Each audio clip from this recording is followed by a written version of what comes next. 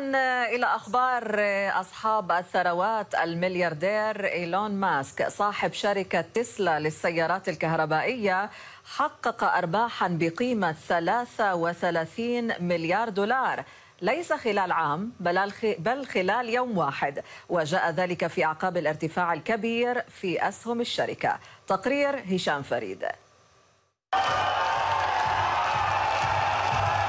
إنه صاحب أكبر قفزة مالية تقع في يوم واحد لثروة إنسان في التاريخ البشري.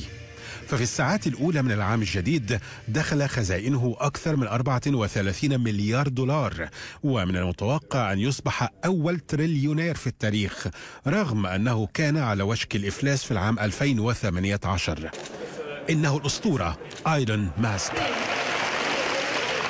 من جنوب إفريقيا المولود عام 71 والذي وصلت ثروته إلى 304 مليارات دولار والتي لم يصل إليها أحد في التاريخ حتى الآن.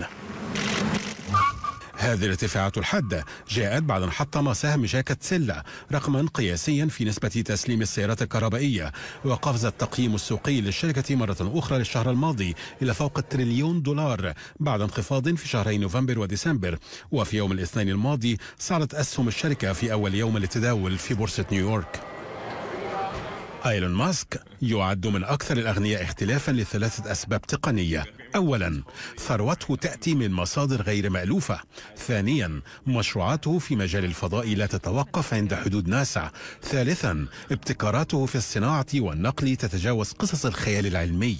أما الأسباب الشخصية التي ساهمت في صنع هذه الأسطورة أولا اعترافه بشجاعة وجرأة أنه مصاب بمتلازمة سبارجر أحد أشكال مرض التوحد.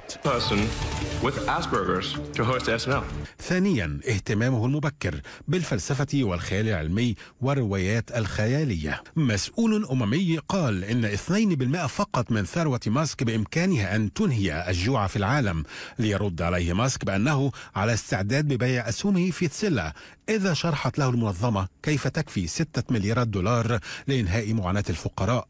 وفي حوار صحفي لخص آيلون ماسك الأسرار الستة لتفوقه الاستثنائي لا تجعل المال هدفك الوحيد. اتبع شغفك. لا تخف من وضع أهداف كبرى. كن مستعدا للمجازفة تجاهل النقاد. استمتع بحياتك.